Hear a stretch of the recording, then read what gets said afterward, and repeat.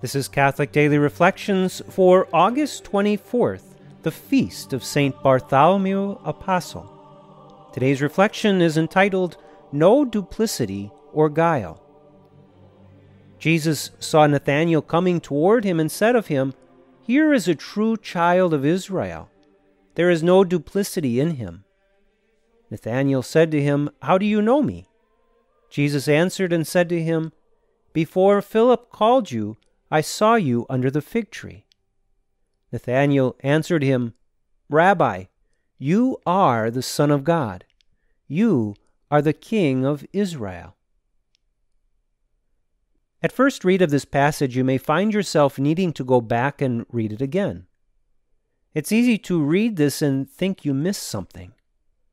How is it that Jesus simply told Nathanael, also called Bartholomew, that he saw him sitting under the fig tree and that that was enough for Nathanael to reply, Rabbi, you are the Son of God.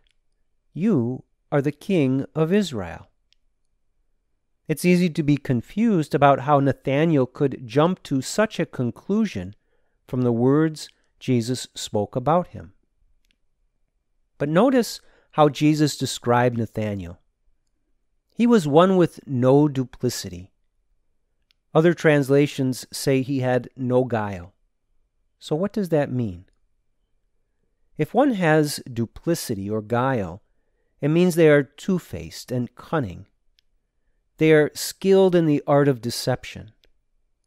This is a dangerous and deadly quality to have.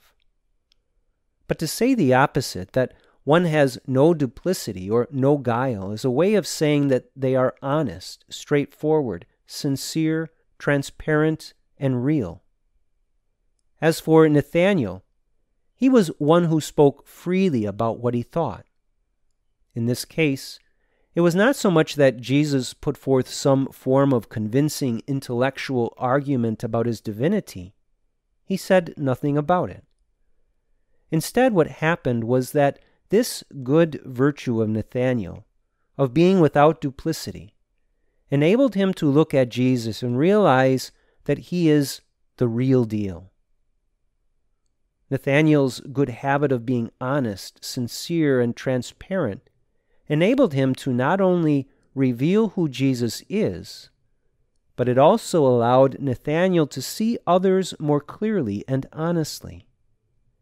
And this quality benefited him greatly as he saw Jesus for the first time and was able to immediately comprehend the greatness of who he is.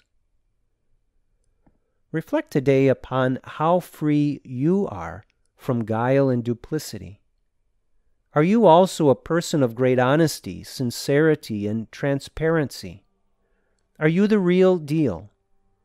Living this way is the only good way to live. It's a life lived in the truth Pray that God helps you grow in this virtue today through the intercession of Saint Bartholomew. Let us pray. Lord, help me to be free of duplicity and guile. Help me to be a person of honesty, integrity, and sincerity. Thank you for the example set by St. Bartholomew. Give me the grace I need to imitate his virtues. Jesus, I trust in you.